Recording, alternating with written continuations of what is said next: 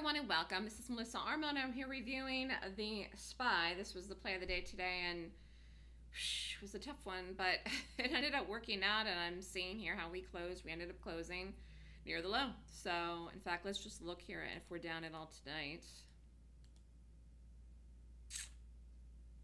We're basically break even here tonight, but um, I think it's going to be tough for the market to get out from under this tomorrow morning. So, I mean, we didn't fall off a cliff today, that's true, but in order to hold on here, something would have to happen pretty big. Um, otherwise, the likelihood of us continuing to fall down in the next few days seems seems pretty high. I mean, again, anything can change in this market. That's why it's just been so crazy, but definitely not a place to go long. Wait until we get the confirmation, and until then, I mean, expect more selling to come into. I have to see where we gap tomorrow morning. We're not doing anything tonight.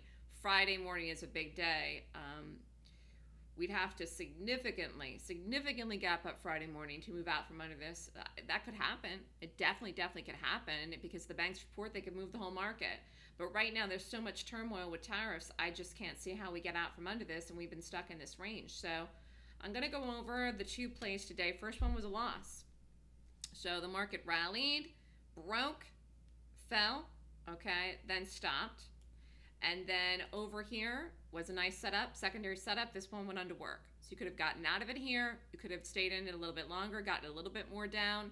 It did move nicely in the afternoon. It did break late, and you know this wasn't easy to do today.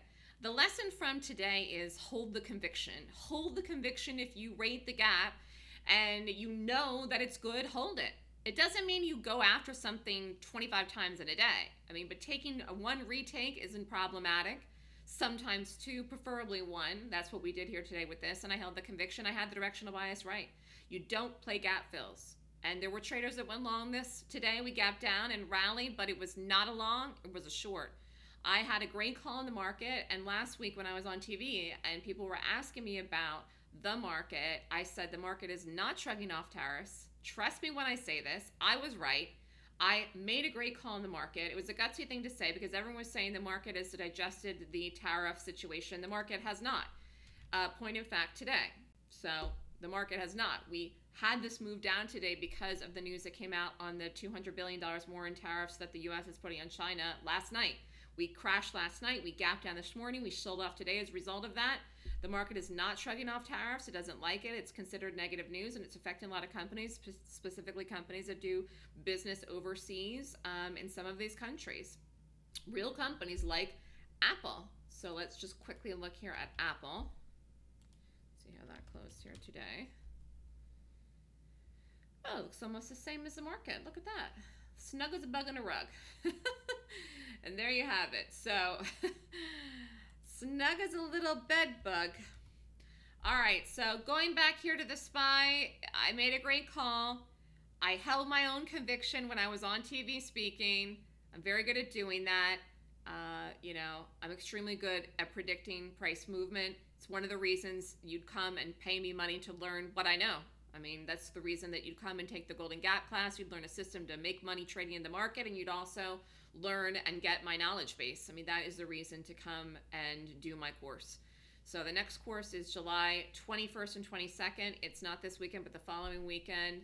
Watch this market. Please be careful if you're trading. Um, if you're up money, I would really get out quick in this type of environment. Let's just see here where we are this little chart here tonight.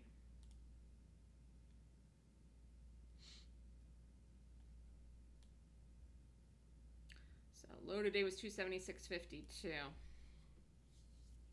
All right. All right. Good luck, everyone. Good luck. Have a good week. If you're interested in the Golden Gap course, email me to sign up and hold the conviction if you know what to do. If you don't, you got to get conviction. You can't you can't make money in this market without conviction, and you can't make money in this market without a good system. You're going to need both. You're going to need absolutely 100% both. I've got that. Email me if you'd like more information, melissa at thestockswoosh.com. We'll watch the market the next two days this week. Exciting times. Thanks, everyone. Have a great night.